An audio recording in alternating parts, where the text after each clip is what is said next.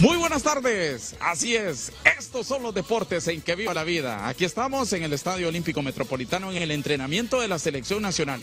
El último entrenamiento previo al juego de mañana ante los Estados Unidos. Al fondo podemos ver a los jugadores realizando su respectivo trabajo de precompetitivo.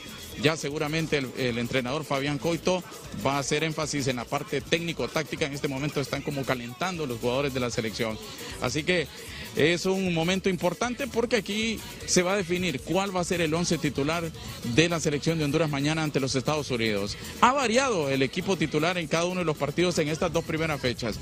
Jugó un equipo ante Canadá, luego en el segundo juego ante El Salvador Fabián Coito realizó nueve cambios en relación a la formación titular del primer juego.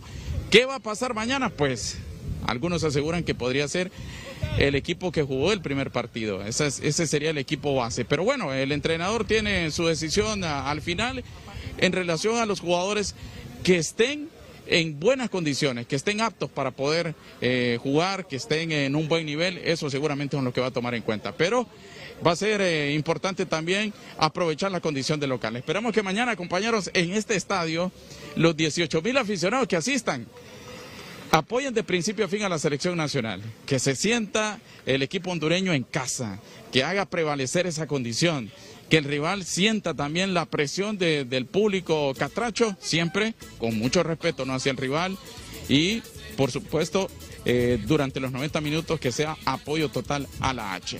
Bien, esto es lo que les podemos contar desde el Estadio Olímpico Metropolitano en, en donde la selección de Honduras está afinando detalles para el juego de mañana ante los Estados Unidos. Les recuerdo que este contacto llega a ustedes gracias a Claro. Yo creo en H.